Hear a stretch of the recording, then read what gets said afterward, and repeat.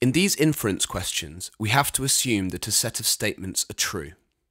Then, using only the information in the statements, we have to select which of the answer choices must also be true. Let's look at an example. The statements we are given are The trees are all in the orchard. The apple trees are picked in the summer. And no one picks from the pear trees. And the answer choices are all of the trees are picked in the summer. The pear trees are not in the orchard. Apple trees are picked all year round. When it isn't summer, no trees are picked. And finally, trees picked in the summer are in the orchard. Now, the way to tackle these questions is to work through the answer choices one at a time. You might want to read the statements first or go straight to the answers. As you practice, decide which you prefer. Starting with answer choice A, we need to assess if all of the trees are picked in the summer.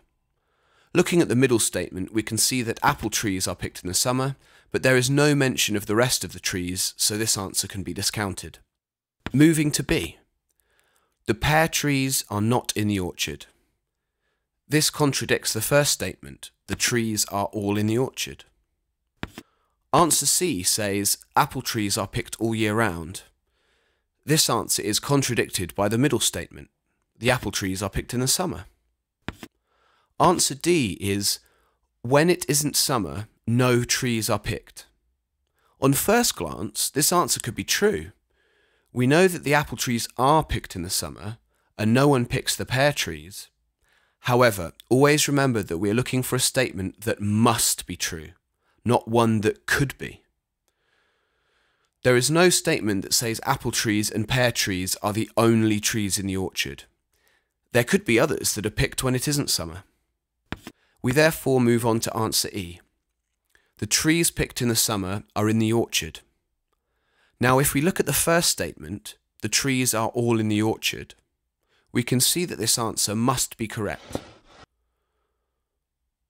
One general point to look out for in this type of question is the word order and placements of key words. For example, if we had the statement, only trees picked in the summer are in the orchard, and the statement, trees picked in the summer are only in the orchard, you can see that these mean different things. Examiners love these tricks, so be sure to read each statement very carefully. So, here's our summary for this type of question. Work through each of the answer choices in turn, testing them against the statements. Make sure you find the answer that must be true, not one that just could be. And lastly, look very, very carefully at word order.